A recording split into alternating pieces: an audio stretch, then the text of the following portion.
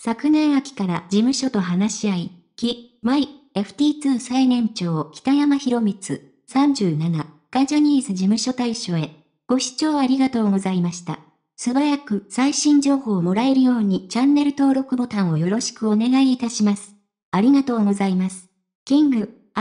プリンスのメンバー脱退までついに1ヶ月を切った。5月22日以降、メンバーの平野志陽、神宮寺勇太、岸優太らが順次退所予定だ。5月には三宅健も去り、 IMPACTors も年内に退所する。そしてまた新たに、 Kis-My-Ft2、キスマイの北山宏光、37も退所する意向であることが、週刊文春の取材で分かった。北山が元スマップの中居正広よりも慕っていた先輩は、2011年、デビュー18日後に史上最速で東京ドーム公演を敢行したキスマイ。グループをこれまで引っ張ってきたのが、最年長の北山だった。20年には女優の内田理央との交際が、文春オンラインに報じられた北山。先輩との関係も良好で、元スマップの中居正広とはゴルフや居酒屋にも行く間柄だったという。ただそれ以上に北山が慕ってきたのが、滝沢秀明だった。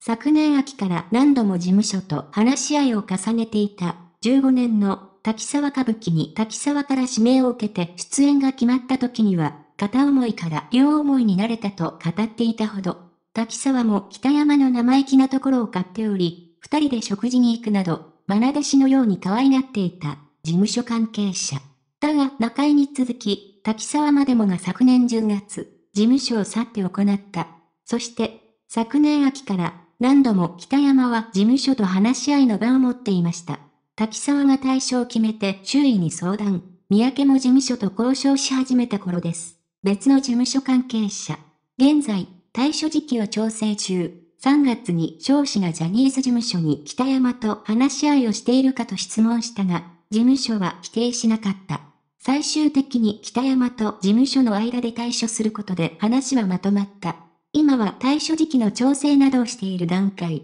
北山は個人事務所も昨年、都内に設立しています。同然、北山の母は、退社については、聞いていないとしつつ、こう語ってくれた。期日までにジャニーズ事務所からの回答は得られず、大人なので任せていて、あまり聞かないんですよ。どこで働いていても、真面目にやってくれればいいと思って、影から応援してるだけです。子供は好きに自分の道を選んでやっているので任せています。最近はお仕事も忙しくなって、あまり帰ってくることもなくなって、男だから、出たらだ、話ですよ、笑い。ジャニーズに対処の有無、時期などを人ネタが、期日までに回答はなかった。4月26日、水曜日、12時配信の、週刊文春、電子版、及び4月27日、木曜日、発売の、週刊文春では、ジャニー北川氏11人目の被害者の告白、ジャニーズ事務所の性被害についてタレントの相談窓口を所属タレントが務めることになったこと、